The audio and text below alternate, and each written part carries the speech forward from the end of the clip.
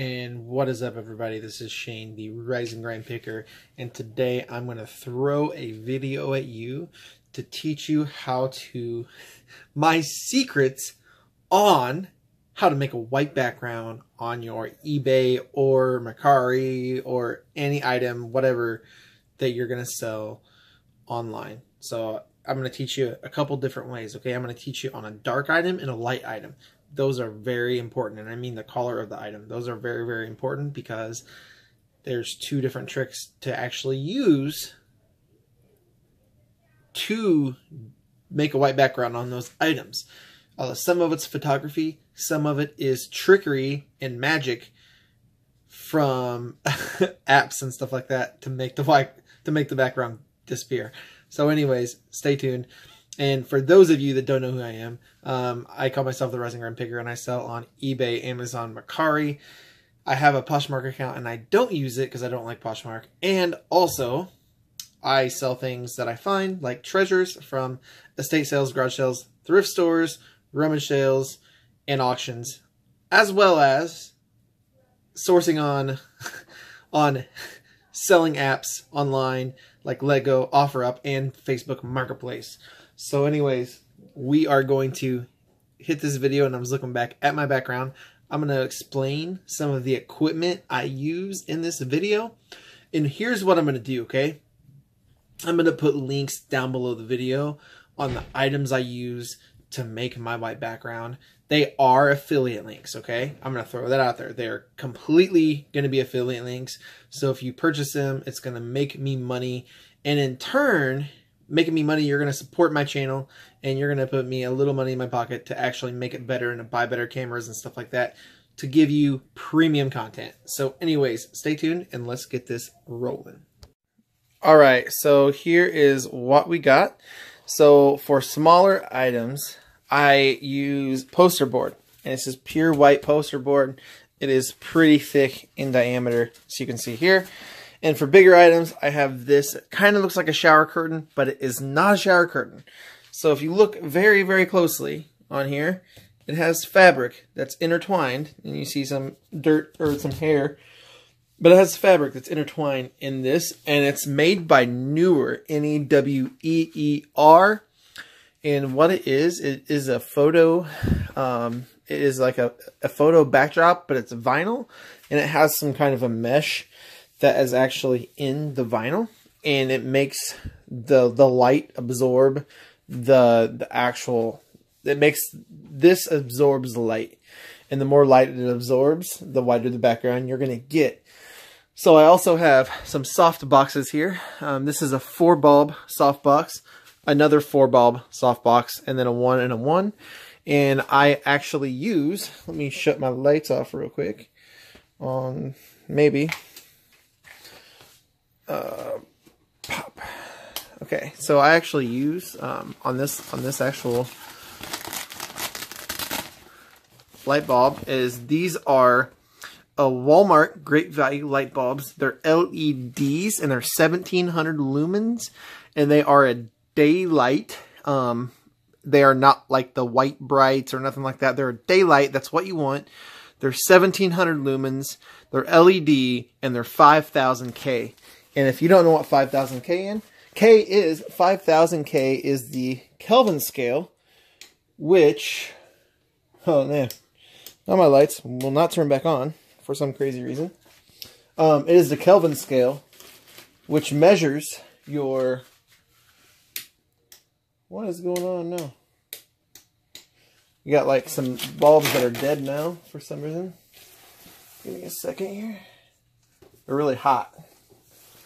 I think I might have to let them cool off for a minute, but I'm going to let them cool off for a second. But 5000K is actually the Kelvin scale, which is uh, basically um, it, the more, the higher the number on the Kelvin scale, the brighter and more clear the picture will be. So it, I think they make them all the way up to like 7000K, and that is like the color, like the, the, the color, heat, or temperature of your light bulb. So this is what I use. Also, my camera is a Sony a6000 and it is a mirrorless camera. It is pretty awesome. and I'm going to show you how to take pictures and whatnot with it. But that being said, um, this camera retails at $600, around five to $600. I bought it used off eBay for 200 So let's get listening and I will show you how I do this. Boom. Alright, so here's a little bit on my camera. So I have I shoot on manual mode, which is the M on the camera, which means manual. And then I actually basically what I do is I set up all the settings on this before I shoot. So that means that I I did watch a YouTube video on how to set up all the settings. But uh, then I started learning more about photography and now I kind of tailor it to my liking. All right, so that is my camera. Uh, this is like an anti, like a flare uh, lens where it kind of reduces a little bit of shadowing and stuff. And that's how I have my camera actually set up. And now I'm going to go into how to take the photos. All right, so what I do before I shoot is I have these cards and they actually help me set my white balance on my camera. I believe these are also made by Neewer and I will put, like I said, all the stuff I'm using an affiliate link will be down in the down in the description of the Oh, I'm recording on my I'm recording on my camera. The description will be down in the uh, description below. Okay, so here's what I do. All right, so what you want to do is you can actually set your your own white balance. Give me a second here.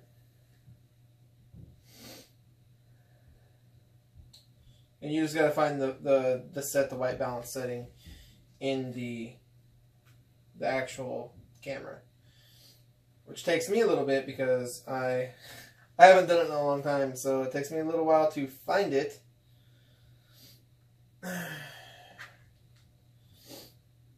Dun, dun, dun, so I'm trying to find this setting thing on here. I think it's in the settings FN. Give me a second. Has something where you just like literally set it and you take a picture.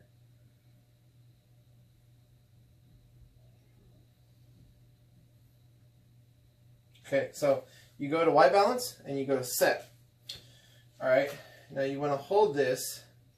It's fairly far away, but you want to kind of zoom the lens in and you want to hit this gray spot in the lighting just like this just like this, and you take a picture of it and you enter it in, and then it sets your white balance. That is very crucial when taking uh, pictures for eBay and e-commerce stuff. Alright, so I'm just setting the color on my camera I'm going to film on, and so now I'm going to take some pictures with my camera that has been synced to my white balance. Uh, so let's take some photos. Now on clothing, what I do is I do some flat lays and I do a mannequin shot. So I'm going to do my flat lays right now. And I'm going to make sure that, so this right here is how I can brighten and darken the picture. And it's this little button on the A6000 that's right here and it adjusts manually how the picture looks. So I'm going to adjust that. And then I'm going to start shooting. I do like four shots, front, front, back, back, and flat lays. My uh, background's a little messed up because I've been uh, picturing hard goods, and yeah, it's a little messed up. Like I said, this background will capture a lot of your of your light, and it'll sink in when, when you're taking photos. I'm gonna get the tag. And I try not to bend over in my light. I try to zoom it in instead of bending over because you're going to get a better picture quality like that. Alright, so here we go.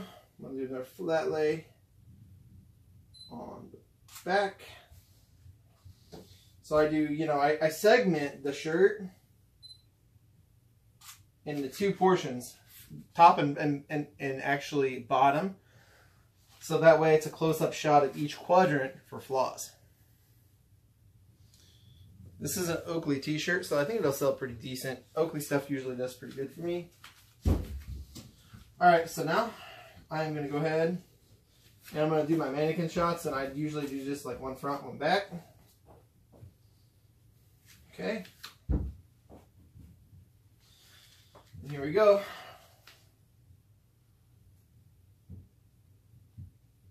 And I'm going to lighten this photo up just a smidge, all right?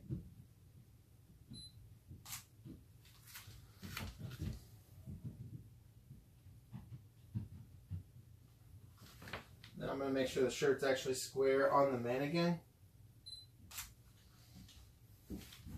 Now I'm going to take a good pick from the back on the mannequin.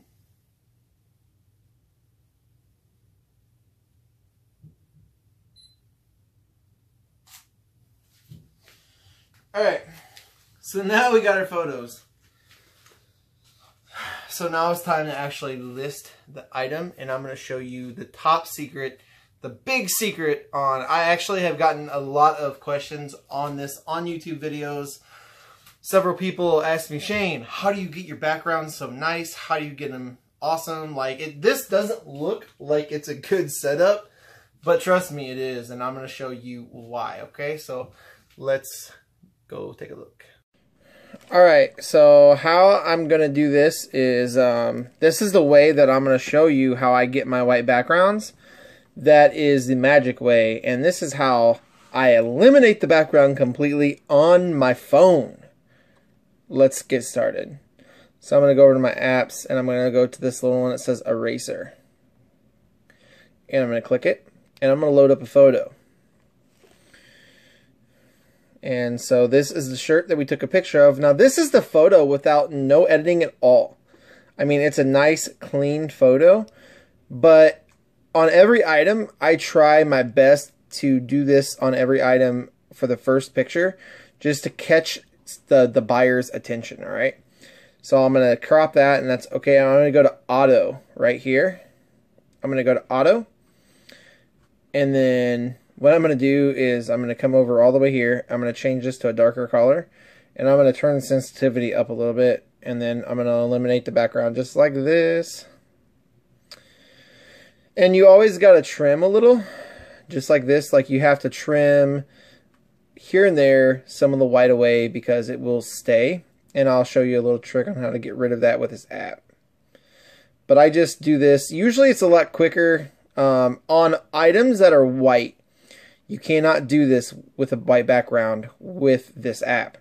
So what I do is I have a black background, and if I have a really light colored item like a cream or even a even a lighter colored item you can't do it with. And so I have a black background and I'll throw a black background up and I'll take my pictures and I can erase the background on it because the background's black. So what this app does is it takes the background and whatever like the background is similar like all over right? So it basically notices this app notices that. See how I, I did the shirt? The app notices the color of the background and then you can adjust the sensitivity to eliminate the background and it targets that particular shade or that color or whatever you call it. See how this kind of flared up a little bit I'm gonna I'm just gonna kind of eliminate this. Now I would say this is good and I'm gonna show you why. So what you want to do is you want to go ahead and hit done and this these numbers down here are gonna help you and it's gonna trim the, the, the item for you. It's gonna smooth it out. Once it's smooth, now I'm doing it a lot slower to show you all, but usually this doesn't take me this long. It's it's super quick and so I basically uh, I I trimmed it down or didn't trim it down, but I I softened the edges on it, and then I'm gonna hit finish. Now, why I hit finish is because then you got to go over to this JPEG, and these apps uh, go hand in hand, like they they go together. You just got to download them separately, and you hit load photo, and you select this app, and you save as JPEG, and it replaces it with a bright white background. So that's how you do that. Now I'm going to show you the other way. Once I build a listing, you just got to give me a second and I'll show you. All right, so now I'm on eBay on a listing, and here is my photo. And a lot of resellers, a lot of people, you hear them say, you can't use stock photos on eBay. This is illegal. It's not a stock photo. I made it myself. The background is simply missing. Everything else is exact. And this is what I did. This is the background I did on my phone. Okay, this right here. It is freaking phenomenal. But I only do that with the first picture, and it takes me 20 seconds, if not 10 seconds. And then what I do is everything else, I just leave it like it is. So I'm going to move this up. And I'm going to show you one other way to do it. Um, if you don't want to do what I do, I'm going to show you one other way to do it. So what you can do, this is the exact photo side by side. So take a look at it. This is a photo of how I done it after I set my white balance. And it's still good. I could have made it better. But I made the photo a little darker so I could remove the background if I wanted to make it actually fairly light, um, I could have actually made it look a lot whiter than that in the background. But this is a photo that I took uh, normal, and this is the photo I took with no background, and it looks amazing. But then when they see the first photo, they're already sucked in, and they think the shirt looks amazing. And then you're going to go to this photo. Now, if you want to edit your pics without removing the background, you go down to this little, little sun thing right here. And here's what I like to do. Um, you just move the bottom to make the color fade out. And you're not actually making the color brighter, but you see how like you're getting this feathering up here? You can actually take the bottom and make the feathering completely disappear. And then you lighten, you actually lighten the photo up. And when you save it, I'm going to save it. And then this is the photo I edited on eBay. So this is the photo I edited on eBay. This is the photo I edited on my phone. The color is a little different, but that's because this was brightened up and this was actually shot a little dark. But the color is about the same. That's what I'm saying is this this just looks you know, a little overexposed, but this is, is accurate. And really, honestly, my, all my other picks are going to be like this. And it's going to show the true color. So I'm not really not showing the true color. And like this, the background's just removed. This is the true color of the shirt. Like literally this, and I don't know if you can see the color because it's in a baggie now, but this is like the closest to the true color you could probably get Clothing is tricky. Selling clothing on eBay is very, very tricky. And you have to really, really know what you're doing. And then also, like I said, if I wanted this photo, right, I could actually lightened it up on my camera and made the background disappear just like I did here on eBay with the photo. Now that background has completely disappeared. The shirt looks a little lighter, but I could have actually done that on my camera I just prefer, so why I do this is I prefer to shoot the photo a little dark, just like this. And this is like pretty much the truest color. And I shoot it a little dark, and then I remove the background, so it's a very accurate depiction of the shirt. And you know, I would say the shirt's like brown, probably. But it's like a heather style brown, which if you don't know what that is, um, it's like multiple colors and you know in one. But anyways, that's how I do it. And this is this is some of the equipment I use. I mean, I I do other little tricks and stuff, but it's nothing I can show you in one 15 20 minute video. This takes time to research and stuff like that. So give me one second and I'm going to put the camera on me.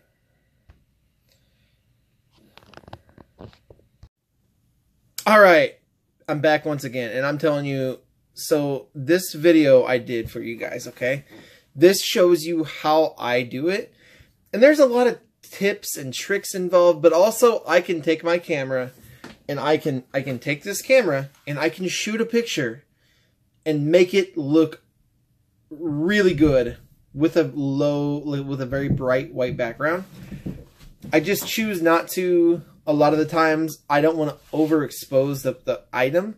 So what I do is that's why I do that first picture with just a normal, not very overexposed, just a little bit, like I adjust the picture just a little bit to make it fairly, um, a little brighter, but I leave it to where it's right and underexposed. Um, and I've done that a lot because I've had a lot of practice. And I know how to overexpose it a little bit to make it look okay. And I know how to underexpose it a little bit to make it look good to where you can remove the background. Because realistically, the app I showed you with the background, if you remove the background and you overexpose the picture, it, you won't be able to remove the background. It'll blend in with some of the photo and the picture of the shirt and stuff will actually come off. So you have to be very careful when you're actually shooting video, or not video, shooting a picture to not overexpose it if you're going to remove the background. Um, that's just, that's super, super important.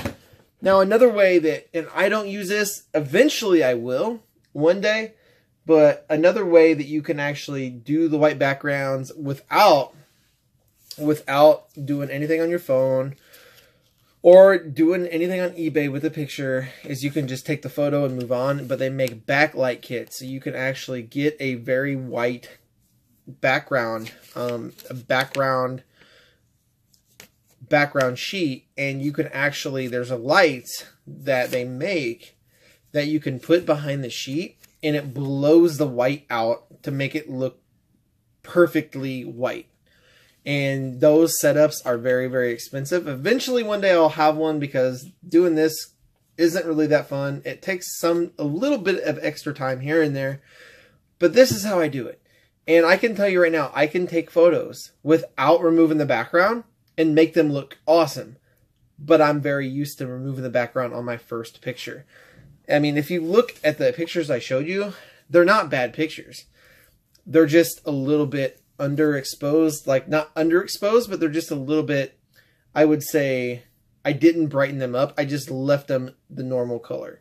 And you can brighten them up and it won't brighten the item up too much. But that's how I do it. And all the stuff I use, like this background, the vinyl background thing is awesome and you can actually make a background look super super super white with it and it's just all about your lighting for pictures and your white backgrounds it is all about the lighting nothing else matters. Like the the you know now i do i, I will not say okay i want to retract that a little bit. Most of not anything else matters. I've seen like light kits that are umbrellas and they don't get good exposure. For me i don't like them i do like the soft boxes better. But this is how I do it. Don't forget to like and subscribe to this video. I'm almost at a thousand subs, so subscribe to me and hit the bell notifications to get those notifications. But subscribe to me and help me reach a thousand so I can finally get a thousand subs. Thank you all for your support. Thanks for subscribing to me. I appreciate you guys following me on a daily basis. You always comment a lot and give me lots of likes and watch my videos when I put them out. So have a great day.